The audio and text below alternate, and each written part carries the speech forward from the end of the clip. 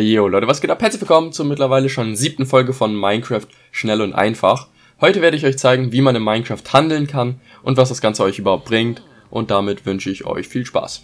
Das Handeln ist in Minecraft eine Spielmechanik, die es dem Spieler ermöglicht, an sehr gute und auch sehr seltene Items zu kommen, indem man eben mit Dorfbewohnern oder auch mit Nomadenhändlern Items tauscht. Man hat so nämlich die Möglichkeit, an zum Beispiel verzauberte Diamantwerkzeuge oder verzauberte Diamantrüstungen, Waffen zu kommen, verzauberte Bücher zu bekommen, Schatzkarten, die einen zu Waldanwesen führen zum Beispiel. Ähm, dann gibt's auch Sättel, Namensschilder, Erfahrungsfläschchen und das sind halt alles Items, die ähm, sehr nützlich sind und sehr sinnvoll und die man normalerweise halt nur schwierig bekommt oder eben gar nicht, wie zum Beispiel diese Schatzkarten oder auch wie die Erfahrungsfläschchen, die kann man halt sonst im Spiel gar nicht bekommen, sondern eben nur durch das Handeln. Es gibt insgesamt 13 verschiedene Berufe, die ein Dorfbewohner erlernen kann und der erlernte Beruf richtet sich dann immer nach dem sogenannten Workstation-Block.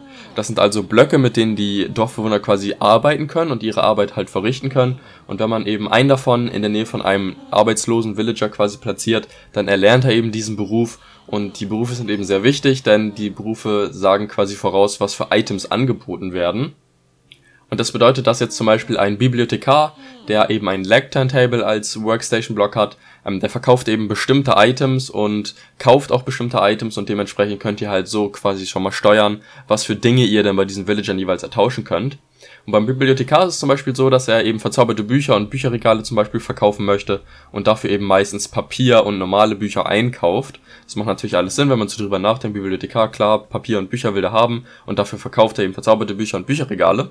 Und genauso funktioniert das dann auch mit den ganzen anderen Berufen. Zum Beispiel haben wir dann noch den Waffenschmied, der verkauft eben Schwerter, was ja auch Sinn macht, ähm, und möchte dafür Kohle kaufen. Und dann gibt's noch zum Beispiel den Farmer, der möchte dann vor allem Nahrungsmittel tauschen ähm, der Fischer möchte vor allem Angeln tauschen und auch Fische und die Angeln können natürlich auch verzaubert sein. Dann gibt's den Fleischer, der möchte natürlich Fleisch handeln. Dann gibt's die Geistlichen, die zum Beispiel Glowstone und eben auch diese Erfahrungsfläschchen tauschen. Was natürlich ziemlich nice ist, weil die Erfahrungsfläschchen, wie gesagt, die kriegt man halt sonst im Spiel gar nicht. Dann gibt's noch den Gerber, der möchte alles mögliche mit Leder tauschen und kaufen und ja halt mit Leder handeln.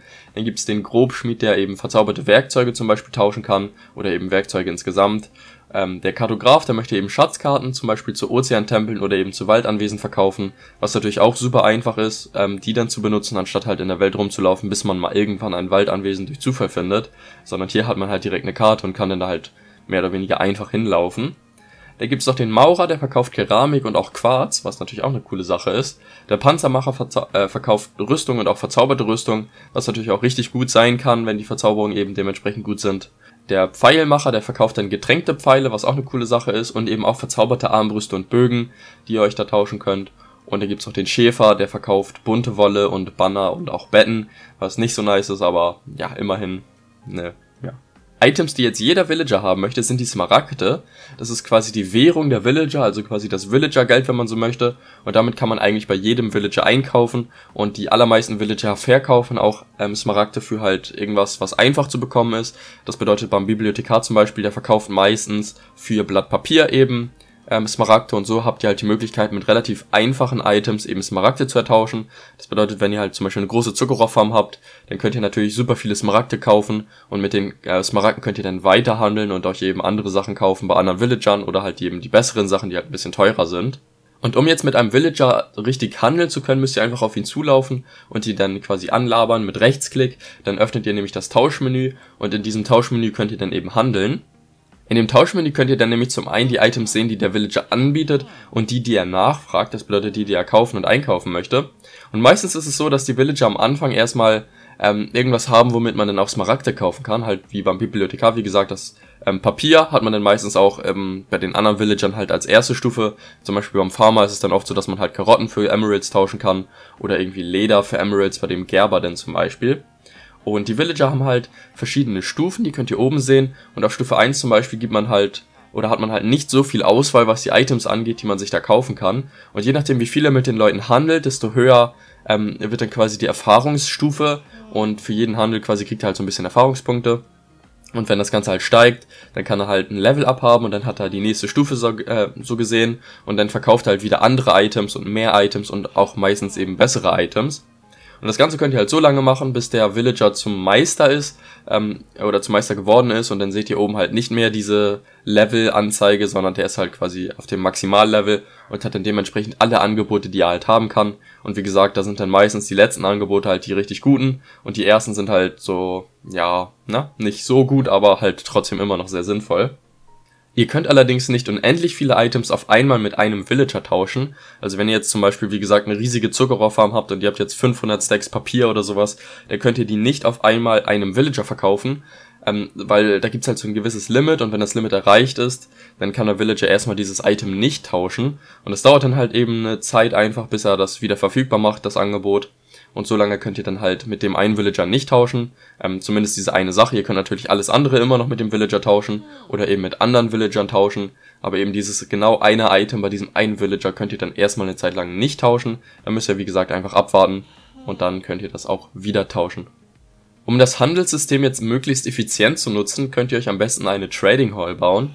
Das ist im Prinzip eigentlich nur eine große Halle, wo ihr halt ganz viele kleine Zellen habt und in diesen Zellen sind dann halt Villager eingesperrt, zusammen mit dem Workstation-Block davor am besten, so mache ich das immer, weil dann könnt ihr nämlich direkt beeinflussen, welchen Beruf der Villager hat, je nachdem, was ihr euch eben ertauschen möchtet. Zum Beispiel ist es bei mir so, dass ich halt meistens verzauberte Bücher mir ertauschen möchte. Und dementsprechend habe ich halt einen Lectern-Table vor den Villagern. Und da könnt ihr halt so lange mit denen tauschen, bis ihr halt alle Angebote habt. Und dann guckt ihr euch die an und wenn da irgendwas Gutes dabei ist, behaltet ihr den Villager. Und wenn das aber alles nur schlechte Angebote sind, könnt ihr halt den Villager töten ähm, am besten macht ihr das irgendwie mit Lava, weil wenn ihr ihn schlagt, das würden die anderen Villager nicht so toll finden und auch der Villager an sich und dann werden die Angebote schlechter. Also das bedeutet, ähm, wenn ihr zum Beispiel eine Diamantspitzhacke für 10 Emeralds kauft, aber ihr haut dann den Villager, dann wird er böse auf euch und dann ähm, müsst ihr quasi mehr Emeralds bezahlen, also zum Beispiel 15 für dasselbe, weil er halt eben böse auf euch ist. Ähm, das geht übrigens auch andersrum. Zum Beispiel, wenn ihr ein Dorf vor einem Überfall beschützt, dann kriegt ihr diesen Hero of the Village Effekt, also den Held des Dorfes Effekt. Und dann sind die Villager halt ein bisschen netter und die machen dann, die reduzieren quasi den Preis für euch. Ja, die haben dann so ein Rabattangebot quasi und da könnt ihr halt die Items für weniger kaufen. Das ist auch eine ganz coole Sache. Ähm, und ja, auf jeden Fall habt ihr dann halt ganz viele von diesen Zellen in einer, äh, in einer Trading Hall und dann könnt ihr halt jeweils zu den ganzen Villagern hingehen und halt handeln, bis dann nur noch gute Villager sind mit guten Angeboten und dann habt ihr hier halt eben die Möglichkeit, ähm, immer mal wieder die Items, die ihr halt braucht, unbedingt irgendwie verzauberte Bücher oder so, euch wieder zu holen. Und am besten baut ihr in dieser Trading Hall dann auch direkt irgendwie einen Villager Breeder hin, damit ihr halt richtig viele Villager habt, ähm, mit denen ihr halt tauschen könnt. Ein Tutorial zum Villager Breeder habe ich übrigens letztens gemacht, ist in der Beschreibung verlinkt. Und das war's eigentlich schon von dem ganzen Video. Ich hoffe, es hat euch soweit gefallen und auch ein bisschen weitergeholfen. Ähm, wenn ihr noch ein Video zu der Trading Hall haben wollt, könnt ihr das gerne in die Kommentare schreiben. Da mache ich auch gerne mal ein Tutorial drüber.